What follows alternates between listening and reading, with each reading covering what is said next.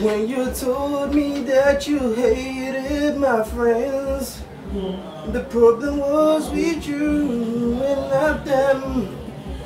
Well, I didn't want to write the song, cause I didn't want anyone thinking I still care, I don't, but you still hit my phone up. Yeah, baby, I've been moving on, yeah. And I think there's something that you really don't want. Maybe you should know that my mama don't like you when she likes everyone. And I never like to admit that I was wrong. I've been so caught up with my job